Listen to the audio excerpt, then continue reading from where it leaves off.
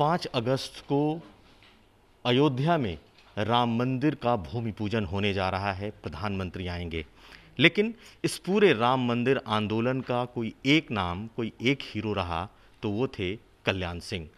कल्याण सिंह ने न सिर्फ़ एक दिन की जेल की सज़ा काटी, बल्कि जुर्माना भी भरा। और अब जब इन्हें पाँच तारीख के इस कार्यक्रम के लिए बुलावा आया है, क्या सोचते हैं कल्याण सिंह? इस वक्त हमारे साथ हैं। सर, आज तक में आपका स्वागत है। सर, ये बताइए कि आपको बुलावा आया। आपकी भावनाएँ इस वक्त क्या हैं? क्योंकि आपसे बड़ा नाम जिसने उस पूरे राम मंदिर को देखा, जिया कोई नहीं राम जन्मभूमि को स्वतंत्र करने के लिए 500 साल तक संघर्ष हुआ। कभी सफलता नहीं मिली। अब जाकर के सफलता मिली है और पाँच अगस्त को राम मंदिर के निर्माण के लिए भूमि पूजन करने के लिए देश के प्रधानमंत्री श्रीमान नरेंद्र मोदी जा रहे हैं। मैं स्वयं भी एक दिन पहले ही चार अगस्त को सायंकाल अयोध्या पहुँच जाऊँगा और भूमि पूजन के कार्यक्रम में मैं हिस्सा लूँगा। दो तीन बात कहना चाहता हूँ। पाँच अगस्त का दिन इतिहास के पन्ने में जाएगा। चूँकि 500 साल तक संघर्ष किया गया था और कभी राम जन्मभूमि मुक्त नहीं हो पाई थी। 1528 में विदेशी आक्रांता बाबर ने के सिपह सालार मीर बाकी ने अयोध्या में मंदिर को तोड़ करके मस्जिद बनाई थी और वो इबादत की गरज से नहीं, बल्कि करोड़ों हिंदुओं को अपमानित करने के लिए और पीढ़ी दर पीढ़ी करोड़ों हिंदुओं को आत्मग्लानी की आग में जलने के लिए बनाई थी। उसको स्वतंत्र करने के लिए अनेक संघर्ष हुए। कभी सफल नहीं हो पाया है। हाँ ये बात भी इतिहास के पन्ने में जाएगी कि 6 दिसंबर उन्नीस सौ बानवे को जो ढांचा था, विवादित ढांचा, वो चला गया। सरकार भी चली गई तो सरकार जाने का मुझे कोई अफसोस नहीं है। भाई, जिसके प्रति श्रद्धा होती है, उसके नाम पर तो बड़े से बड़ा बलिदान भी मैं छोड़ना मानता हूँ। वहाँ पर जिला प्रशासन ने कहा था, रिपोर्ट आई कि हमने केंद्रीय सुरक्षा बलों की चार बटालियन मांग लिए, आ रही है। मजिस्ट्रेट मांगा था, मजिस्ट्रेट दे दिया गया है, लेकिन वे सुरक्षा बल साकेत महाविद्यालय से आगे नहीं बढ़ पा रहे हैं। तीन लाख लोगों की भीड़ है, उन्होंने रोक रखा है। ऐसे में हमें बताया जाए कि हम गोली चलावें या न चलावे। ये भी उन्होंने लिखा अपनी रिपोर्ट में ही कि अगर गोली चलाई गई तो नरसंहार होगा, बड़ा खून खराब होगा। मैंने लिखित में आदेश किया है, मौखिक नहीं। मौखिक आदेश कई बार लोग नकार जाते हैं। मैंने लिखित में आदेश किया कि जिस स्थिति बिंदु पहुँच गई है, अयोध्या की स्थिति।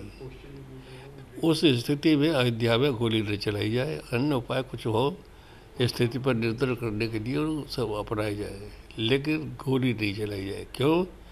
क्योंकि गोली चलेगी तो हज़ारों लोग मारे जाएँगे, नरसंहार होगा स्टैम्पीड हो जाएगा, उसमें हज़ारों लोग मारे जाएँगे, और चूँकि पूरे देश भर से कार सेवक आए हुए हैं, इसकी प्रतिक्रिया स्वरूप पूरे प्रदेश और देश के अंदर हिंसा की लपटें उठेगी, वो स्थिति और भी अधिक दुखद होगी। इसलिए गोली एक भी नहीं चलेगी और मुझे कहते हुए गर्व होता है कि मेरे माथे पर किसी एक भी कार सेवक के प्राण लेने का कलंक नहीं लगा। कल्याण सिंह जी, आपको इस बात की खुशी है कि आपने वो साइन किया कि कोई गोली नहीं चलेगी।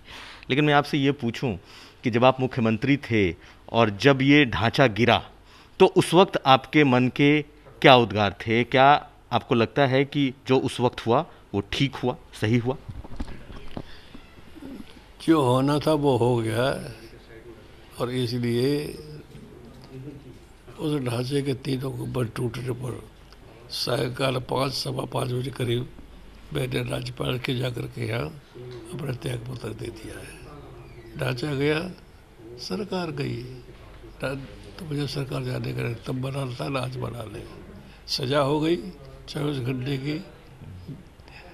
तिहाड़ जेल दिल्ली में काट ली न तब बना था आज बना रहे राम का मंदिर बन रहा है, मेरे जीवन भर की आकांक्षा थी। और मेरी नहीं, मेरे जैसे करोड़ों हिंदुओं की आकांक्षा थी कि राम का मंदिर बने। और राम का मंदिर बनने के बाद देश का स्वाभिमान, देश का सम्मान बढ़ेगा। राम के बंदर के साथ साथ राष्ट्र का बंदर भी बनेगा।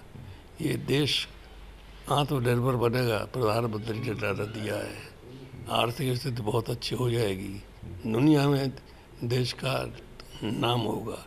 गर्व से कह सकोगे कि हम हिंदुस्तानी है, हम भारतीय हैं। सर, आपको क्या लगता है, इस मंदिर बनने का श्रेय किसको जाता है? क्योंकि प्रधानमंत्री आज मुख्य नरेंद्र मोदी हैं लेकिन अ, हज़ारों लाखों लोगों ने कोशिश की। मैं इस मंदिर के लिए जिन्होंने संघर्ष किया राम मंदिर के लिए जिन्होंने आंदोलन किया राम मंदिर के लिए जिन्होंने अपने प्राणों को न्यौछावर कर दिया उनको श्रेय देता हूँ सरकार को भी श्रेय देता हूँ। मोदी जी को भी श्रेय देता हूँ, योगी जी को भी श्रेय देता हूँ।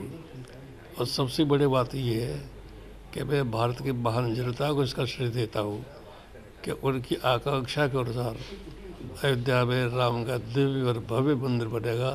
ऐसा मंदिर कि जैसा दुनिया दूसरा कोई तुलना नहीं होगी। सर, एक चीज़ और बताइए कि ये अब चूँकि राम मंदिर बनने जा रहा है, बहुत लंबा मूवमेंट चला राजनीतिक तौर पर देखें तो बीजेपी का इसका बहुत फ़ायदा भी हुआ। अ, सरकारें आईं केंद्र में सरकार बनी राज्यों में सरकार बनी। आप इसके बाद अब कहाँ देखते हैं कि ये तो बहुत बड़ा आप लोगों ने अचीव किया राजनीतिक तौर पर और कितना फ़ायदा मिलेगा इसका? देखिए हमने कभी राम मंदिर को राजनीति का विषय नहीं माना। ये सांस्कृतिक राष्ट्रवाद का प्रतीक है। राजनीति में कितना फ़ायदा होगा कितना नहीं होगा हमने चूँकि राम मंदिर को राजनीतिक मुद्दा ही नहीं माना। हाँ हमने इसे राष्ट्र का प्रतीक माना तो राष्ट्र बहुत आगे जाएगा। आखिरी सवाल कल्याण सिंह जी ये बताइए कि आप लोगों ने जब ये आंदोलन शुरू किया तब एक ये भी नारा था कि अयोध्या के बाद काशी और मथुरा। अयोध्या तो जहाँ की है काशी मथुरा बाकी है। आपको काफ़ी है। आज जितना बोलते हैं तो काफ़ी है, बाकी बाकी बातों को नहीं, फिर कभी। फिर कभी। धन्यवाद। तो ये थे हमारे साथ कल्याण सिंह, जो कि उत्तर प्रदेश के न सिर्फ़ पूर्व मुख्यमंत्री हैं, बल्कि पूरे राम मंदिर आंदोलन के सबसे बड़े, अगर कोई नायक कहे जाएँगे तो उसमें से एक सबसे बड़ा नाम कल्याण सिंह का। कोई मलाल नहीं, ढांचा गिरने का श्रेय नरेंद्र मोदी के साथ पूरी जनता को दे रहे हैं, और इस बात से खुश हैं कि वो इस नए राम मंदिर के भूमि पूजन के गवाह भी होने जा रहे हैं। संजय सिंह के साथ कुमार अभिषेक, लखनऊ।